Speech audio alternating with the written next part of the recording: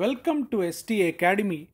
Today we are going to discuss about how to study physics for TS EAMCET 2021 to score 40 out of 40. We will see with blueprint for TS EAMCET 2021. In this video we are going to discuss about how to get 40 out of 40 in physics as well as the blueprint of TS EAMCET 2021.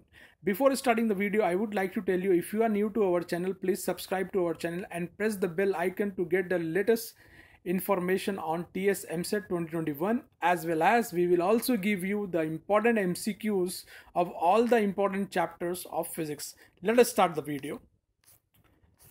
Now how to prepare for physics TS EAMCET 2021 what should be your approach for solving this section? Most of the students they find difficulty in doing the physics problem.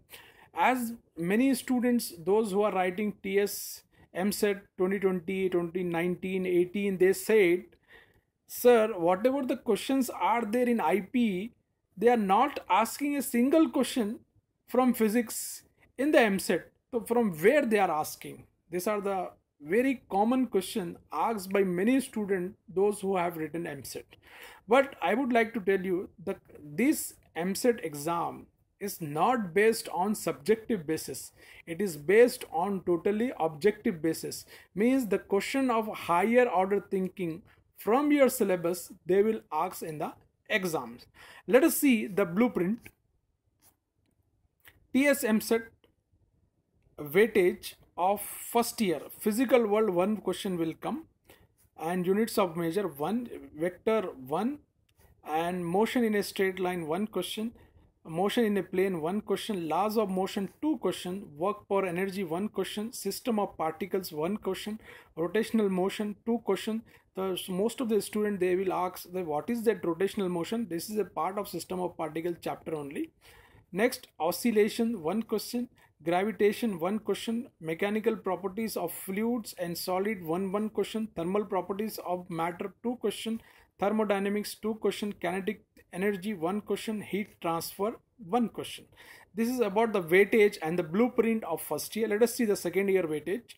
Sound and wave two question. Ray optics and optical instrument two question. Wave optics one question. Electrical charges and field one question. Two question from potential and capacitance two question from electricity.